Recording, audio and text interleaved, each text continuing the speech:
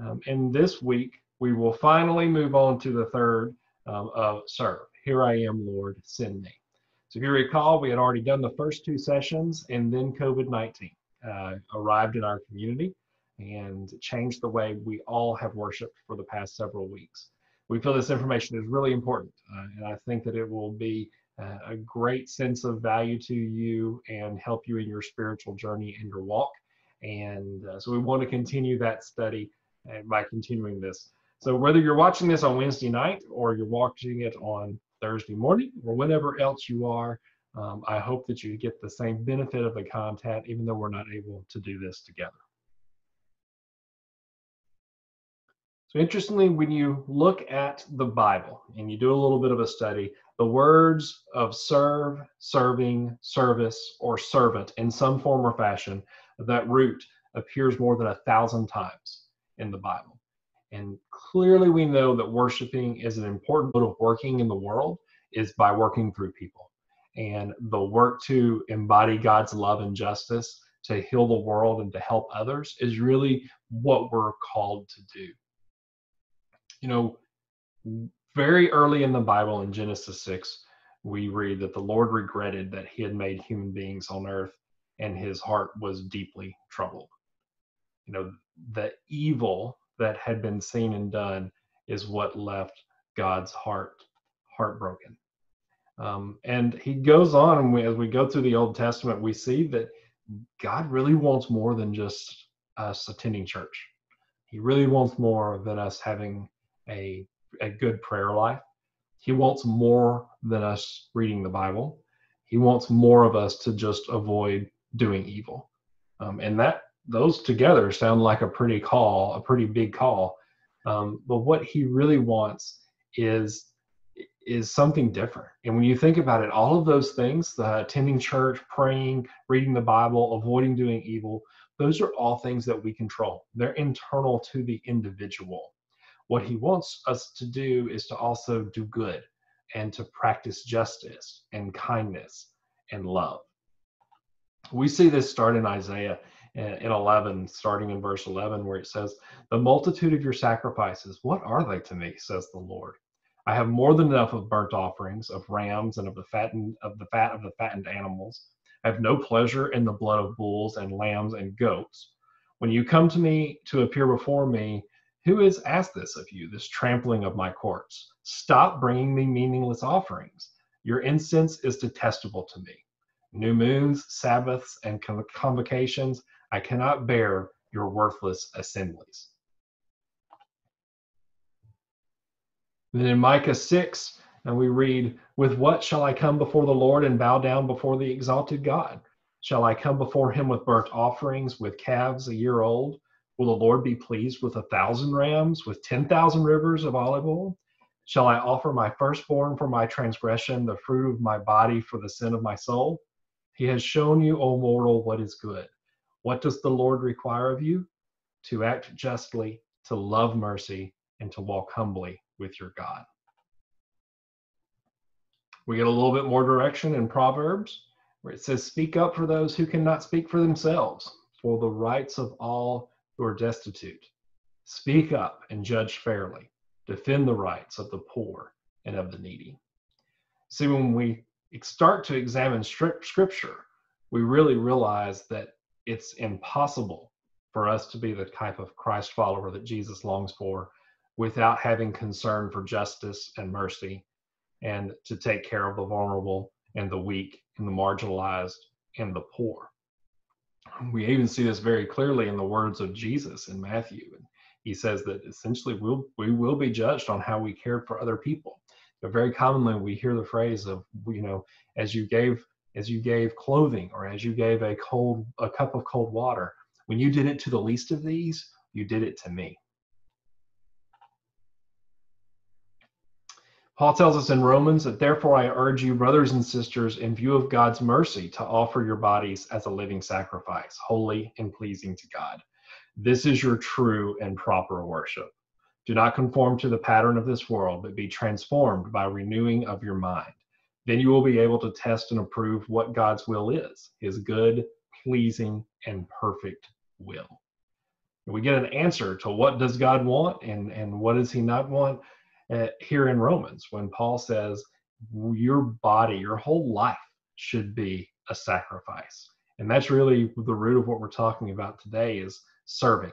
And, and how do we do that? And what does that look like?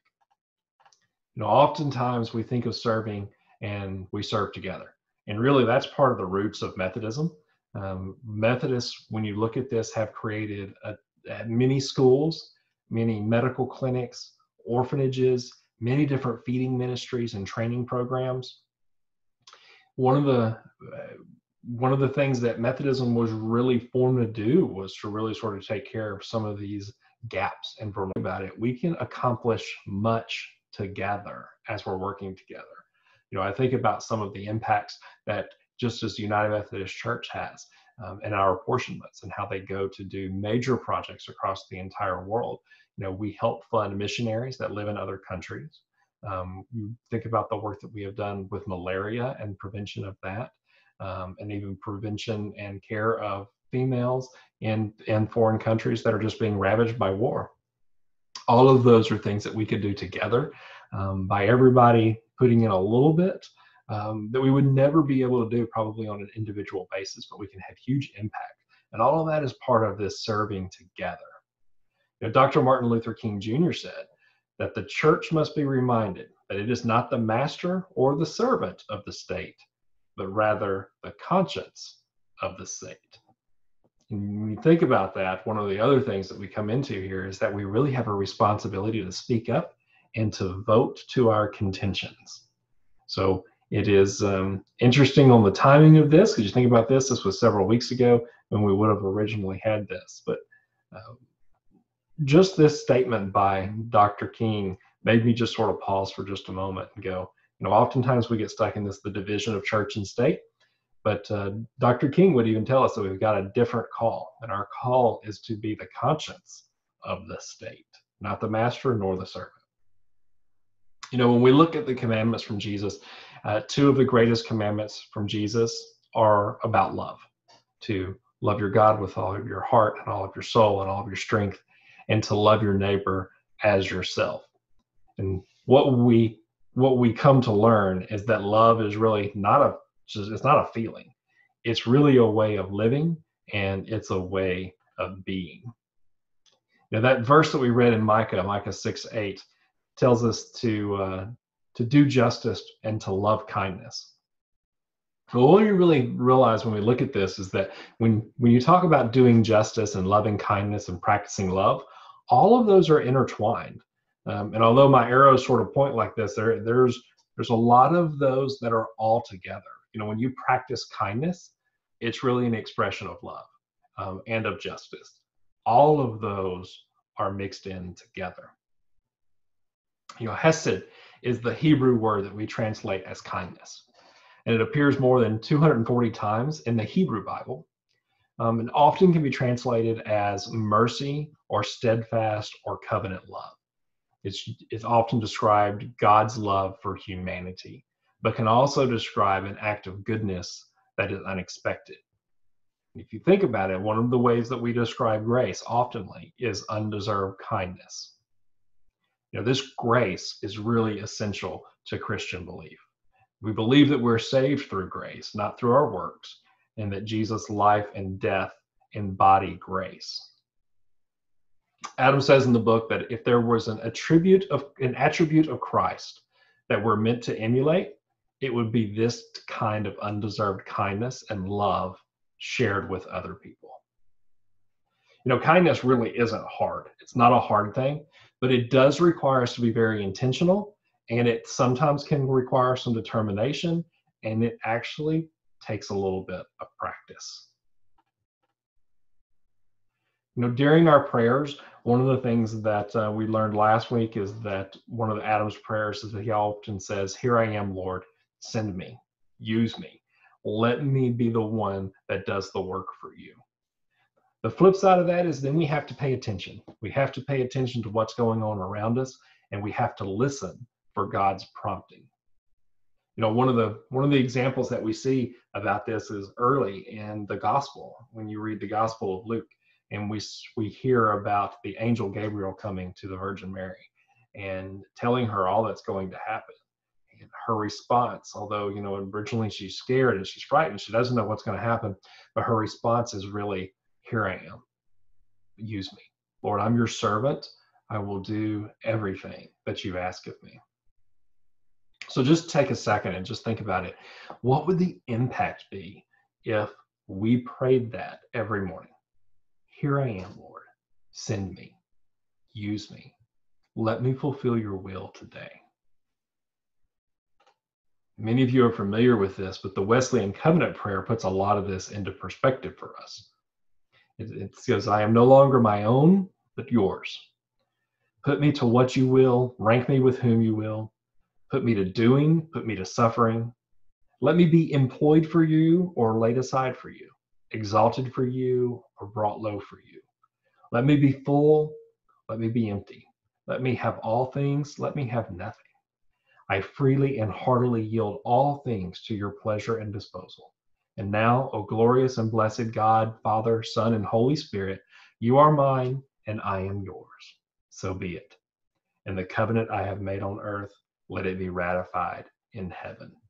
Amen. We see here in this prayer is really servant it's a servant attitude. It's it is literally it does not matter what happens to me. I will do everything that you ask no matter where that puts me. It's interesting that even when you read some of the gospel stories one of the one of the stories that we see is that the disciples even argued about this. Um, you know they argued with who would be the greatest who was going to sit at the right hand and who was going to sit at the left hand. And jesus tells them very plainly that the last will be first. And then he demonstrates that during the Last Supper. So we're familiar with that. He, he you know, he wraps his he wraps himself in towel and he washes the disciples' feet. And some of them have got, you know, there's there's no reason that this should be happening like this, but it does. Um, and he performs this this miraculous act of servitude to them as an example. Adam says in the book later that to walk with God to be a follower of Christ is to be a servant. And one of the primary ways that we serve is to practice kindness towards others. You know, God's primary way of acting in the world is through people. And in our last service together, if you think back many weeks uh, when we were actually together, in our last service together, um, we had a couple that spoke about the United Methodist Women and they use the lyrics from a contemporary Christian song, um, but it says essentially, you know, I woke up angry. I looked around the world and I and I shook my hands at God and I said, "What are you going to do about this?" And I saw people being abused and hungry, and I got angry and I said, "God, you need to do something about this." And His answer is, "I did.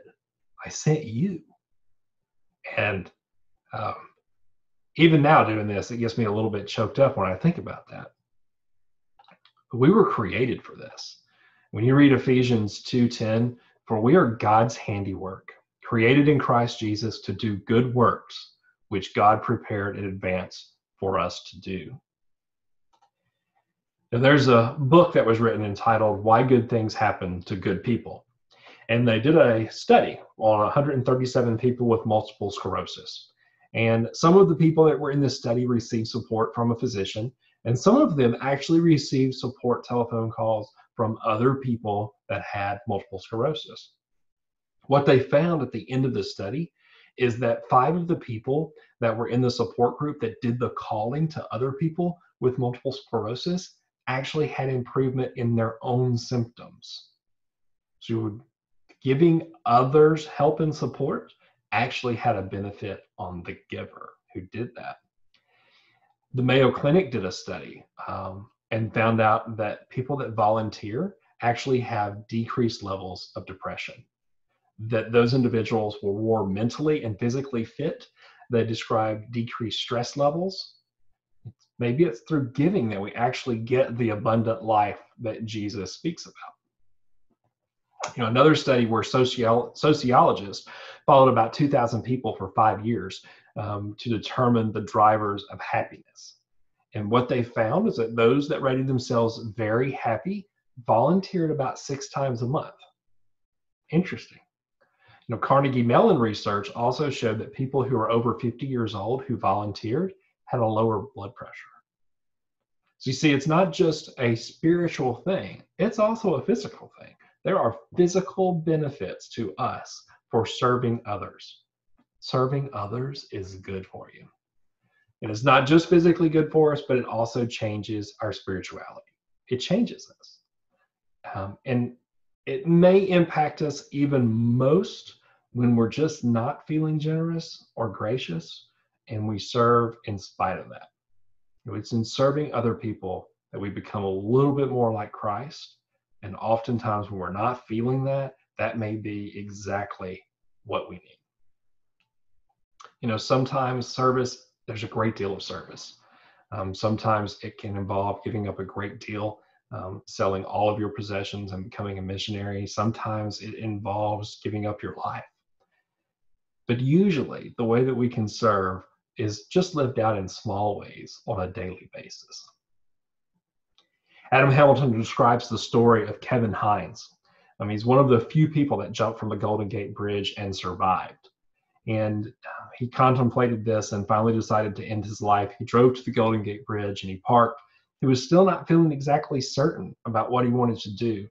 And he told himself that as he walked out on the bridge, if one person looked at him or smiled at him, he wouldn't jump. And he walked across the bridge and passed several individuals. No one looked, no one smiled, no one offered a kind word. And so when he got to the middle of the bridge, he jumped. And he describes that as soon as I jumped, that I, I knew that I had made the wrong decision. And he survived. But it only would have taken one individual to look at him to make a profound impact in his life. You know, most of the opportunities that we have to serve and to show kindness, they're unplanned. They're just interruptions. Um, and part of what is necessary to serve Christ is our willingness to be interrupted. So we see this even in the Good Samaritan parable. Um, you know, the Good Samaritan parable, there's there's two individuals that that are walking on the road. They pass a gentleman, both of them separate times, but both of them pass by. They don't stop. And then the Samaritan comes along, and the Samaritan stops. Um, he clearly was on his way to somewhere, but there was an interruption, and he stopped and he cared. And he actually took it a further step uh, and took the patient and took the person, put them into an inn, told the innkeeper, whatever, whatever expenses, I'll pay for them when I come back, but please take care of this man for me. Not just the interruption, but actually embracing the interruption and taking it even a step further. You know, clearly love wasn't a feeling, but it was the willingness to be interrupted. It was the willingness to take a risk. It was the willingness to give up comfort. It was the willingness to be late. And it was the willingness to sacrifice something for someone else. Now, this is what love and kindness really looks like. You know, there were times during Jesus' ministry where things were planned, but the majority of what he did was interruptions. If you think about many of the stories we see, he was moving from one place to the other and was interrupted by individuals or had individuals that um, that that wanted to grab his cloak or just touch him. Um, much of his work was interruptions, um, and he made allowances for that. You know, as we do this, and we allow those interruptions. We've talked before about how um, the right hand you consider being like a fist. And those are the things that we do together. So, as the church, we do really powerful things together. We serve other people. As individuals, that's what's on our left hand. Tell us that you want to extend five acts of kindness a week. Um, so, just five acts a week. Can be simple stuff. Uh, could be could be checking in on a neighbor, especially right now while we have um, COVID nineteen still going on. It could be picking up some extra groceries, maybe getting somebody some toilet paper if they don't have any. Um, it could be paying for someone's food. It could be simply telling the person at the counter that you appreciate them. You know, Adam tells a story in this where he was walking into a convenience store and the person that was checking out people were just clearly not having a good day, very short, very, very frustrated. I mean, he walked up and she just sort of said, "What do you What do you want?" And he said, "You know what? Um, I really like your glasses. Where did you get those?"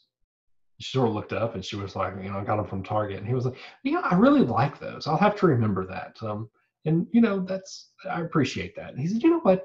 I just want to thank you for being here and taking care of all of us that come through."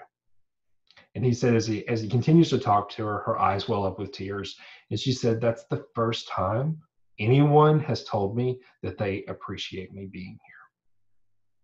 And so he he purchases his stuff and he starts to walk away. And of course, when he gets to the door, he sort of pauses just a little bit, and he hears the way that she talks to the next person, and it's a kinder, and it's softer, and it's nicer. And so if you think about it, though, telling her that one thing, how many more people does she come in contact with that day that makes such a big impact? Know, we even see this from the cross. And when we talk about service, one of the biggest things that we can think of, and probably the biggest act of service, is giving up your life for your friends. Jesus says this. We see it from the cross. We see some of the things that Jesus says from the cross. And um, but specifically, when we talk about the things from the cross that are impactful here, it's the comments and how Jesus spoke to Mary and John. So I want to pause here for just a moment and change uh, screens. I want to show you the video and then we'll come back.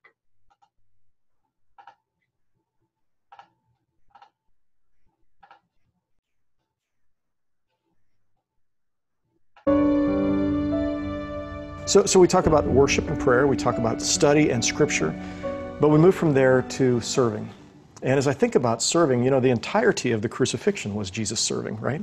So he says just before his death, he says, The Son of Man came not to be served, but to serve. And how would he serve? By giving his life as a ransom for many. You remember the disciples are arguing the, just before Jesus' death, which one of us is the greatest? They don't realize that he's about to be crucified. Which one gets to sit on his right hand and on his left hand when he comes into his kingdom? And Jesus says, It's not that way with you. The kings of the, of the Gentiles, they lord it over other people. But for you, if you're going to really walk with me, it means you're going to serve each other. If we're going to walk with Jesus, then we're going to have to pray, know the scriptures, and we're going to serve, which is what Jesus did as he's hanging on the cross. But I love this. There's a, there's a glimpse of how Jesus does this that's really, you know, we've talked about the five things that we do and how the ring finger represents the people closest to us. So on the cross, one of the seven last statements of Jesus is he looks down at his mother and then he looks at his disciple John and he says, John, take care of her. The literal words are, Behold your mother and behold your son. I love this. This small little act tells us that Jesus was not thinking of himself even as he was dying, but he was thinking about his mother and who's going to take care of her when I'm gone. And so we talk about giving, and, and of course, our giving is in response to God's giving. God's given us everything. Everything I have is because of God.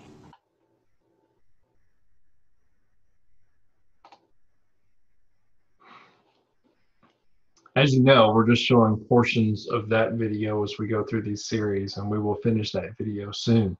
Um, but it's so interesting here that one of those last words and the words that Adam sees, where he sees the service so much, is taking care of his mother.